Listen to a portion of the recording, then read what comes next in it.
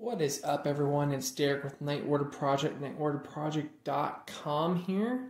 We're going to do a little something different this time around.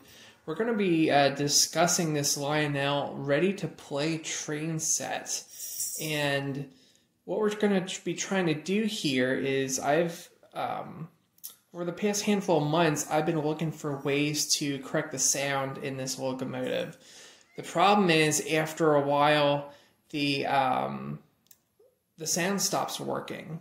Okay, for for for this specific locomotive, and it's happening to other Lionel ready to play sets as well. So I am going to show you a quick and easy fix on how to get the sound working on these things again, and hopefully this will be very beneficial to um, many other people that are looking to do the same the same thing. All right, so we're gonna fix this locomotive now. We're gonna fix the sound. So the supplies that we need are the locomotive, of course, a Phillips head screwdriver, some sort of tape. I chose electrical tape, and a scissors. So as we turn the locomotive over, you will see that there are quite a bit of screws in here, okay? And we only want to touch certain components of this in order to get to what we need to, which is um, the speaker.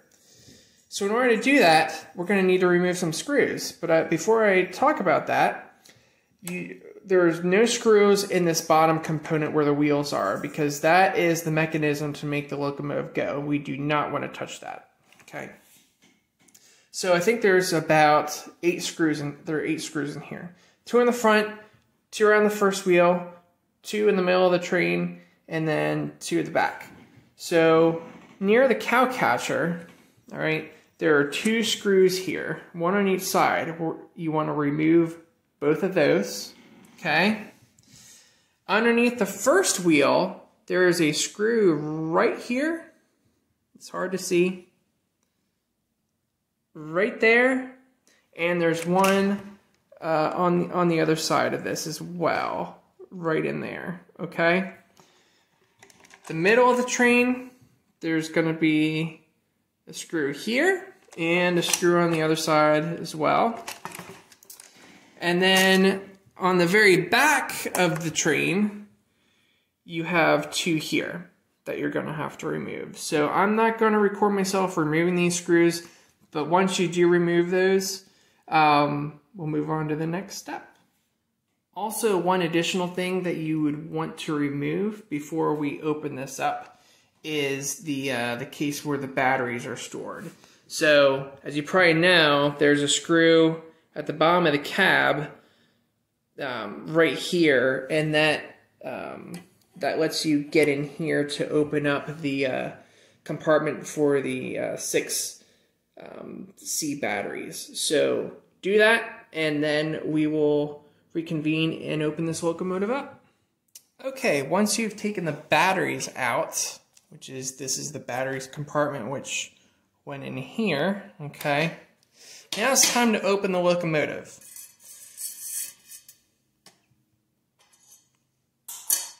So first thing first, before we just pull this whole bottom part out, is over here, if you pull um, if you pull out on your your um, cow catcher, just lift up on these wheels and pull this directly to the left like this, the cow catcher will come off and you can put that aside for now. Now we can focus on the actual locomotive. So if you just pull up a little bit, you will notice that the front half of the locomotive still is intact, but the bottom half lip lifts up very easily here, okay?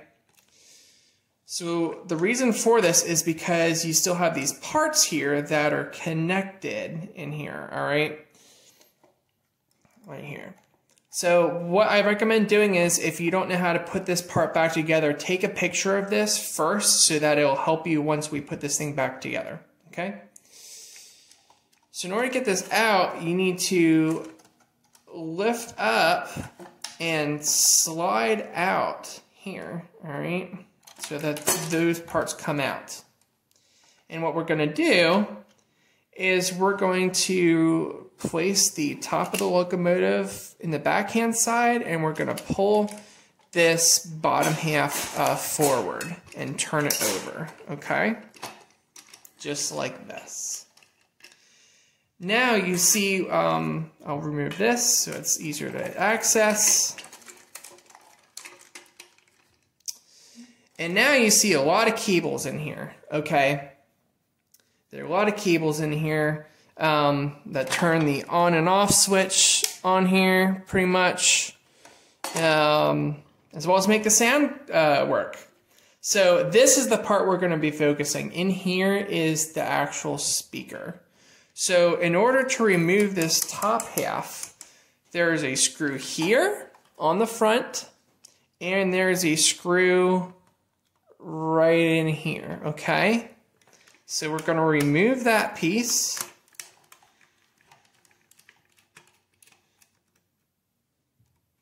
Make sure you don't lose these screws. They're very small. And what I recommend also doing is getting a small bag so that you don't lose them. All right.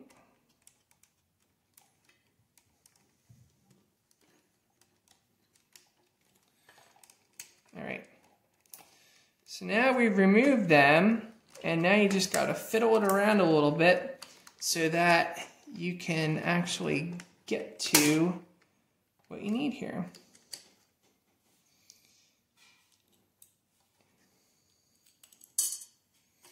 So this top half, you can uh, remove that as that and just set that aside as well. So here's what we're looking at here, all right? This is the speaker. This is the problem area of this locomotive that no longer works. And we're going to show you how to get to work again.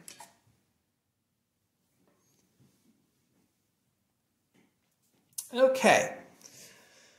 So now we're going to get this speaker to uh, to work again. So as of now, in order, to, if you want to test this out, what's happening is that I'm going to put this, this is where the battery unit goes in, and I'm going to manually uh, test this. So I'm going to turn this on, and I'm going to just push down here to activate this, and, and you hear pretty much nothing, all right? Um, so as I hold this, I'm actually going to push this in and now you hear this being activated, okay? That is the activation of, of this uh, speaker. But when I let go of this button in the middle, it, it turns off. It doesn't work.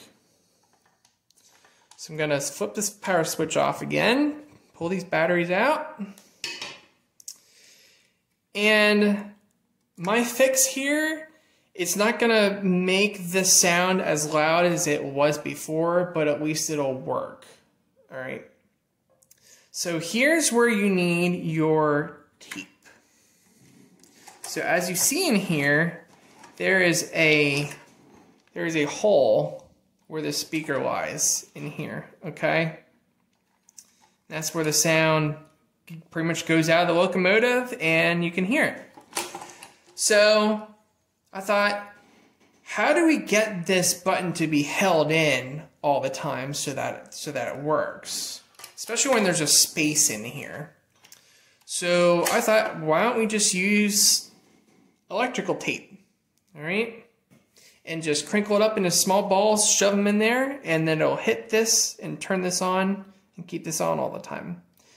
Even though this is on all the time, when you turn that power switch off, it will not sound the uh, locomotive anymore. So what I'm going to do here is I'm going to get some electrical tape out. You can either cut it off with that or you can use your um, scissors and just roll it up into some small balls and just shove them down in there.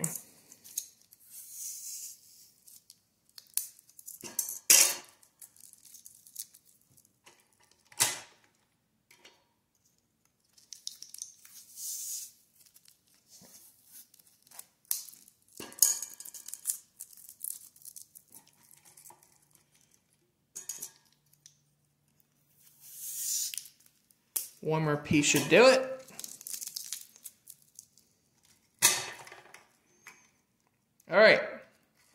Now you have three or four little balls of electrical tape in there. So now what you're going to do is you're going to put this back on top, like so.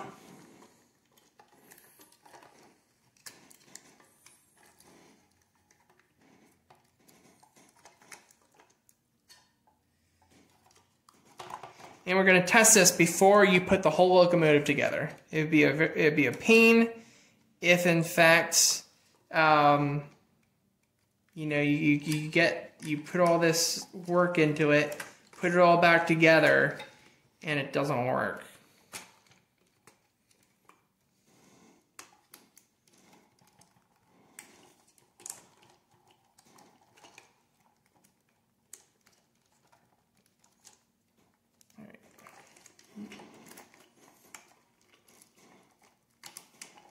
You notice also, there's a little crack here in this uh, cover for um, this yellow cord here and you want to make sure that you put it through there because if you don't you might break uh, that wire. Alright.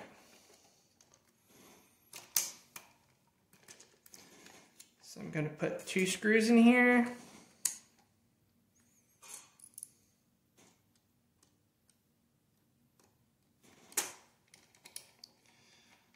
Tighten that pretty well.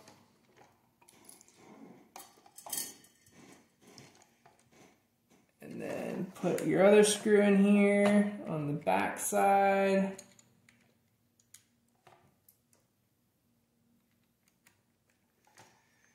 Tighten that up. And like I said, we want to test this before we actually um, put the whole thing back together. So now the cover's back on. Got your screw here and you got your screw there. All right, let's test this. So get your battery pack back out. Turn this back on. And all you should have to do is touch these two plus and minuses with these two areas and it should work. And it does. So once you activate the controller, which is what we'll do next, um, you should be good to go to putting this engine back together. So let me go and get a controller. Okay, so we got ourselves a controller here. So the one last test, gonna turn your switch on up top.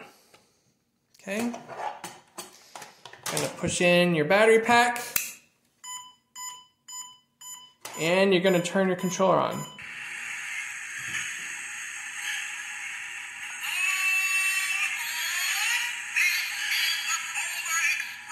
And you can test all these. That's the bell. That's the whistle. And you're good to go. So I'm going to turn this off. Turn the top off and you're good to go. So now, like I said before earlier in this video, um, rely on that picture you took so that you know how to put these rods back together in here, okay? Um, what I recommend doing specifically for this is putting um, this part in first, and then if you look at this, there's a clip on here um, right here that that slides through through this portion of it okay? And then once you have those in then put the top back on. But whatever works for you you'll be able to figure it out. So put that together and then we should be good to go. Don't forget your screws. Um, again there are screws up front at the cow catcher there's some up front at the first wheel, the middle two wheels, and then the, uh, the cab of the locomotive as well.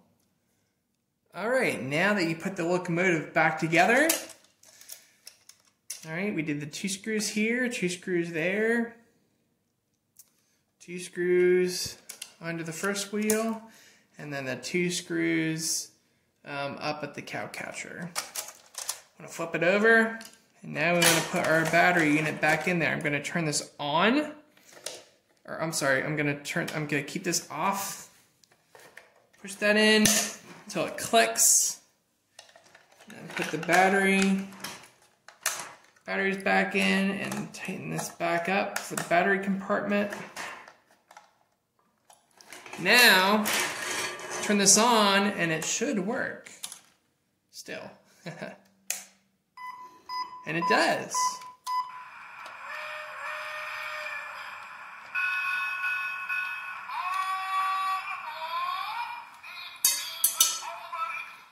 Okay. And the wheel drive should work as well. And they do.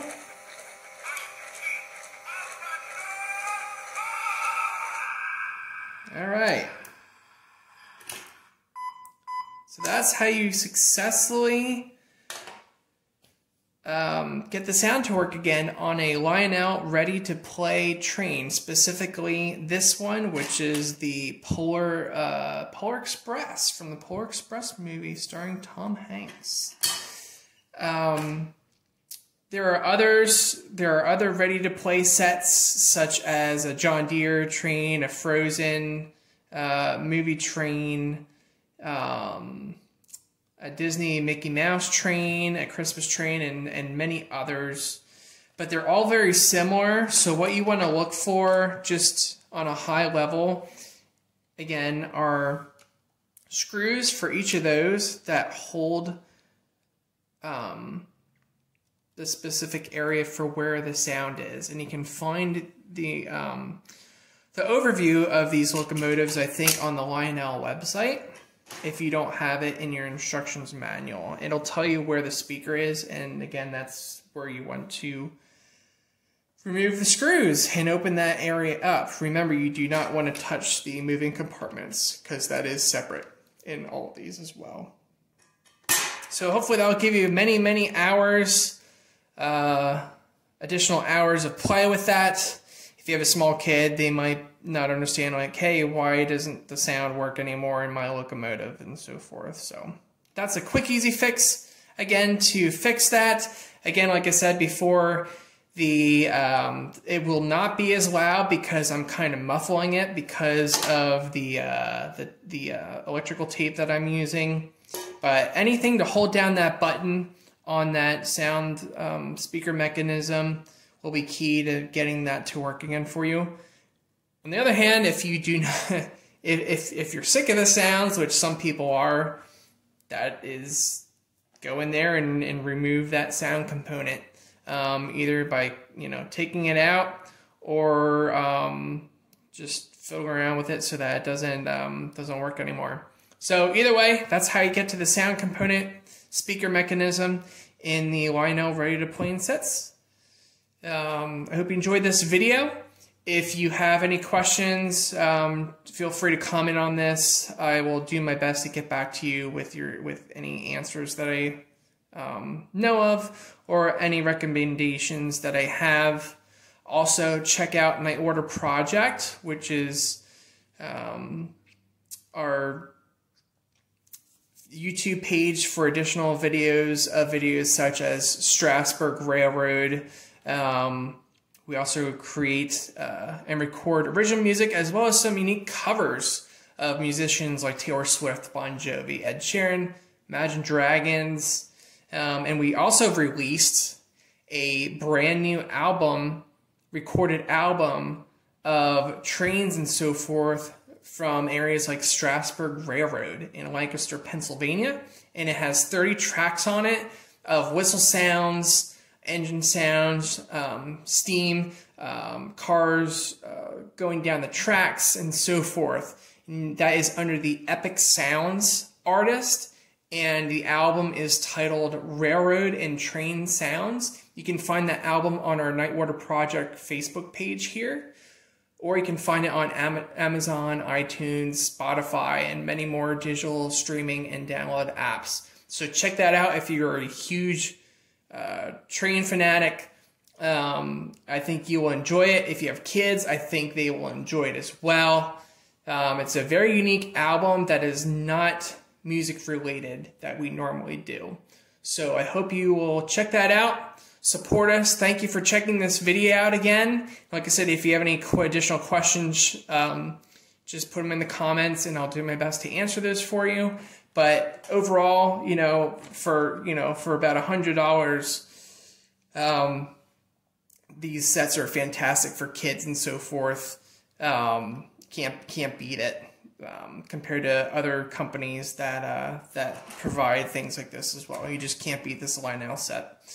So for about you know this was the electrical tape was about three four bucks. Um, scissors, um, your screwdriver, and so forth. So for under ten dollars you can easily fix this train instead of going out and spending an additional $100 to buy a whole brand new set or look on eBay for just a locomotive that works for like 60 to $80.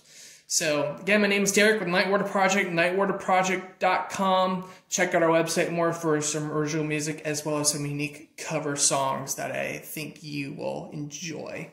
So thanks again for watching this video. Hopefully everyone has a fantastic rest to your week.